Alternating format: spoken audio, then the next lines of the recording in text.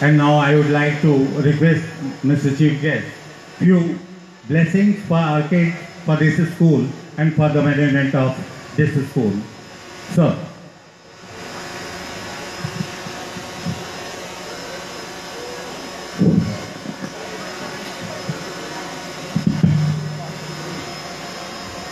बहुत बहुत धन्यवाद प्रिंसिपल साहब आज के इस कार्यक्रम में उपस्थित इस विद्यालय के प्रबंधक महोदय,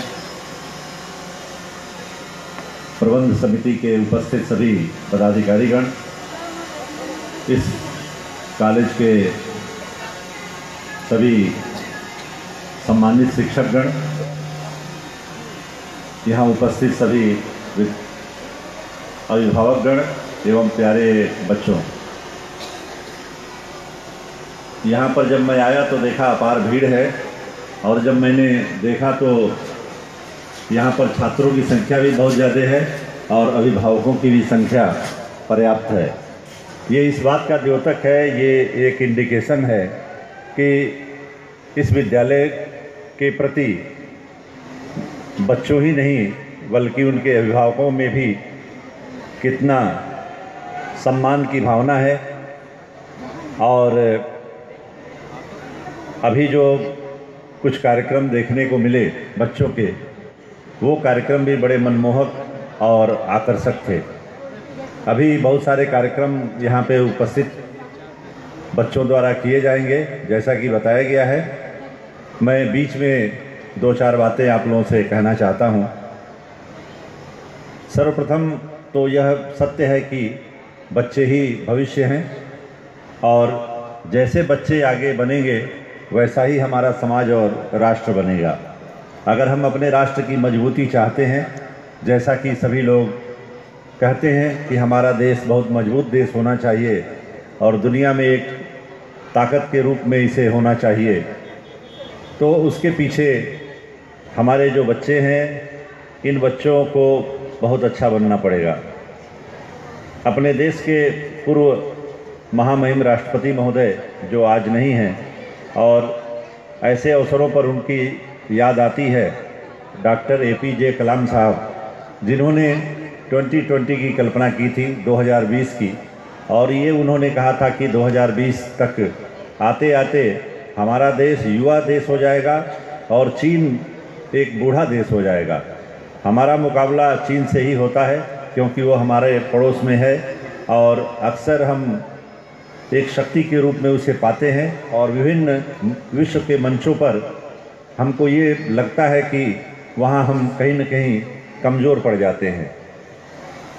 हमारे डॉक्टर ए पी जे कलाम साहब ने बच्चों की शिक्षा पर, बच्चों के एक्स्ट्रा करिकुलर एक्टिविटीज़ पे बहुत ज़्यादा ध्यान देने को संदेश दिया और आप लोगों को मालूम है कि उनकी जो अंतिम सांस थी, वो भी इसी तरह के एक स्टेज पर ही एक कॉलेज के प्रोग्राम में ही, जहाँ बच्चों को वो शिक्षा दे रहे थे, उन्हें भविष्य के बारे में सिखा रहे थे, वहीं पे उनकी अंतिम सांस चली थी।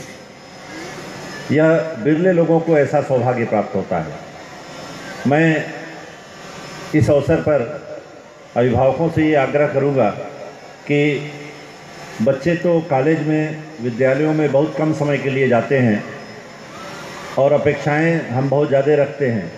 लेकिन अभिभावकों का भी ये बहुत बड़ा दायित्व है कि लगभग 16 से 14 से 16 घंटे बच्चे उन्हीं के पास रहते हैं। उन्हें अच्छी बातों को सिखावें। बहुत सारे ऐसे अभिभावक हैं जो समय नहीं दे पाते हैं और बाद में उनको ये लगता है कि हमारे बच्चे हमसे दूर रहे और कहीं न कहीं माता पिता की जो साया होती है उस साया से दूर रहने के कारण उनके अंदर कोई न कोई कमी आ गई। तो ये पछतावा का अवसर न रहे। मैं आप लोगों से इस अवसर पर ये विनम्र निवेदन करूँगा, आग्रह करूँगा कि अपने बच्चों को, सभी लोग अपने बच्चों को अच्छी शिक्षा दें, अच्छे तरीके से उनको जो घर के अंदर संस्कार होता है उसे दें और भारतीय संस्कृति, भारतीय परंपरा के अनुसार उन्हें आगे बढ़ावें ताकि वो बच्चे आगे चल कर के एक अच्छे नागरिक बन सकें। और इस समाज और राष्ट्र की मजबूती में अपना योगदान दे सकें। मैं इस अवसर पर इस पूरे विद्यालय परिवार को, सभी अभिभावकों को और अपने प्यारे बच्चों को अपनी शुभकामना देता हूँ और इस बात के लिए आभार भी प्रकट करता हूँ कि आप लोगों ने मुझे यहाँ बुलाया। मैं अक्सर इधर आते जाते इस विद्यालय को देखता था, लेकिन इस परिसर में इसका आगे का जो गार्डन है, जो लान है, बड़ा खूबसूरत, हरे रंग का कारपेट जैसा दिखता था। लेकिन आज यहाँ पे आने का मुझे सौभाग्य मिला।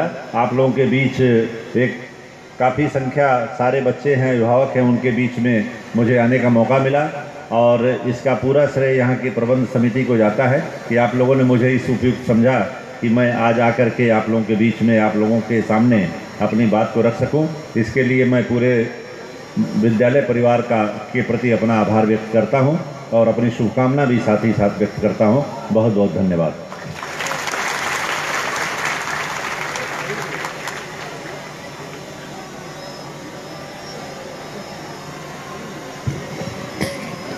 Thank you sir thank you for the motivational speech